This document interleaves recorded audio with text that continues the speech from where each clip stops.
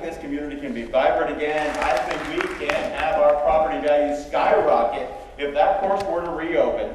Property values in Boca Del Mar would skyrocket whether you're on the course, near the course, or around the community.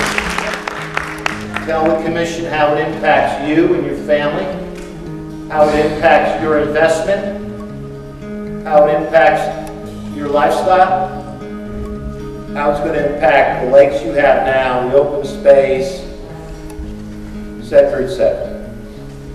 It undermines the long-standing promise of homeowners. It compromises the integrity of a master plan community. It compromises the integrity of Boca Del Mar, and it challenges the intended stability behind the concept of a master plan community.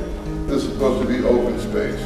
But more importantly, Pleasure Trail Golf Course Development is the dumbest development that I think I've heard of in 40 years. We will not go quietly into this night, right? We are going to win this. We will not go away. Our voice will be heard. Go to Del Mar. We are stronger than ever. I love you. You're my neighbors. God bless.